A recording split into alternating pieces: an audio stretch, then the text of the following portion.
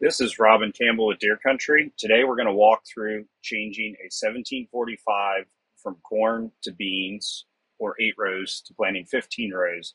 This would be the same procedure for any John Deere split row planter like a 1790 or 1795. It's very common when trying to change rows to go into the 4 row planter button and change the split row configuration to single row when switching between corn and beans. After your planter is initially set up, there should not be any reason to go into the four row planter button during normal configuration or switching crops. The correct button to press is the arrow pointing at the little seed, the third button down on the right of your main planter page. Here you can see I have a checkbox at the bottom for 8 rows or 15. If I wanted to plant corn with ProMax 40 discs on 15 inch spacing, 15 rows, I would just select 15 and have it update. I can select it back to 8. That's going to change my working width. If I wanted to plant soybeans, I can select crop at the top and select soybeans. Depending on your features, it's going to prompt you to change your working width. And now I'm set up for planting 15 rows of soybeans. If I wanted to plant eight rows, I could just select eight rows.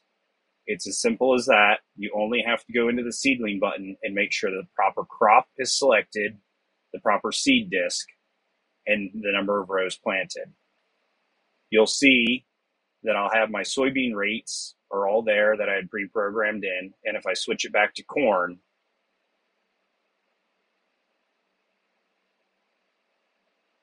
my corn rates are all there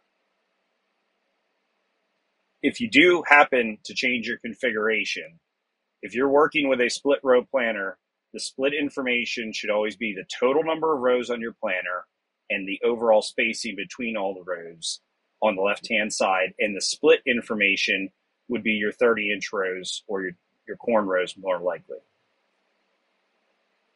The planter is always considered 15 rows. So when we're planting corn with this planter, we're working with rows one, three, five, seven, etc.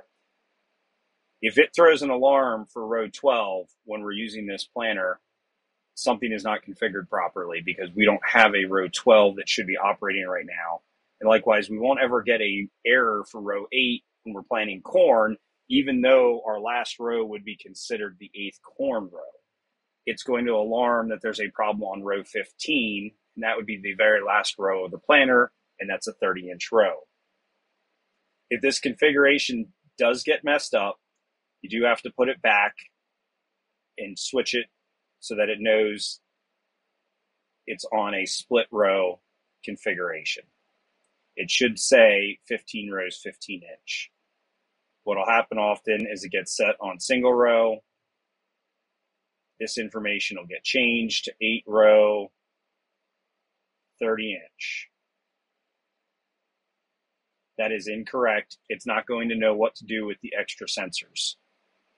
I need to put it back on split row. This is a 15 row planter. If you're working with a 1790 or 1795, it might be a 23 row or a 24, 31, or a 32.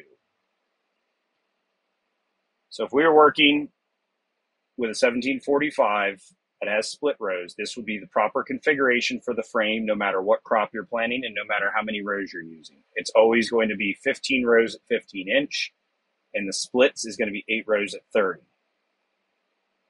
Now, very common after fixing that and putting it back would be what you see here that I just have one green bar underneath my population bars now for clutching it loses the row configuration and we'll walk through resetting that now. So once you have your planter reconfigured and back to split row, 15 rows, 15 inch, 8 row 30, or however it would be set up with your 1790, you're going to come across the top to drives, select drive configuration, go to row control sections, and then we're going to walk through this setup by pointing at the arrow at the dot.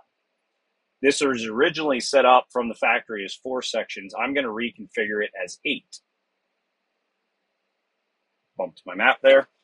As I start working through this, it's going to ask me where section one is. It's going to start row one and I'm going to tell it it's ending row two, starting row three, ending row four, start row five, ending row six, start row seven. I need to end it with row seven, section five, row eight, and row nine, 10, and 11, 12, and 13, 14, and 15. Because we have an odd number of rows, one of those sections has to be just one row, and it needs to be a row that plants all the time. You can't set this up as, say, a 15 section. It might work when you're planting beans, but when you plant corn, you would have half of your sections not working, and the planter will not map properly. So those sections need to be set up that every section, whenever using the planter as a split row or a full planter, all the sections are always running. So that's why we'd set up row seven, which is a corn row, as its own section. When I hit the next button, we get a chance to preview the sections. And if we were planting corn, we would have eight rows of clutches. We'd have every single row of corn would clutch on its own. When we're planting beans, every two rows will be tied together except for row seven. I'm going to accept the setup. It'll give me this message. I'm going to hit the button in the top right corner. And I should see this message about planter disabled cycle power. This is proper. This is where we want to get to. And what we need to do now is cycle the key on the tractor. That's going to end my session of RDA, which I'll have to restart as soon as I get the tractor booted back up. But now we should see everything how we configured it.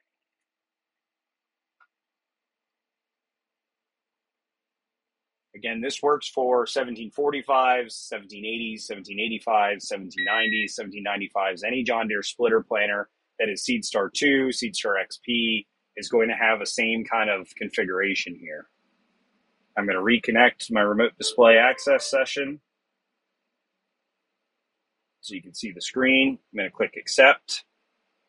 I can set that up later, update my track spacing,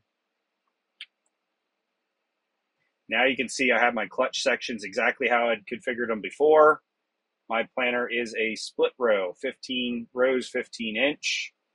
If I go into my seed button, I've got to set this back up how I want it. But at corn, I'm going to select eight rows instead. Let's update to 20 feet.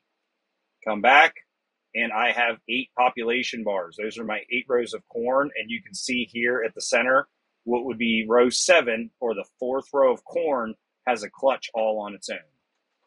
Whenever you're setting up those clutch sections, it's important to remember this planter only has one drive section, but if you have a 1790 or 1795, you cannot have a row section or clutch section cross over the center line of the planter. So you're going to have a drive shaft for your variable rate drives, and you're going to have so many rows associated with the left and so many rows associated with the right you cannot have a section cross over that center line or else it also will not map properly. So you need to keep it that you have so many rows to the center. So that often means that when we're setting up a, say, 1790, that's a 12 row, 23 row, we'll have row 11 often all on its own, and that would be one of your corn rows.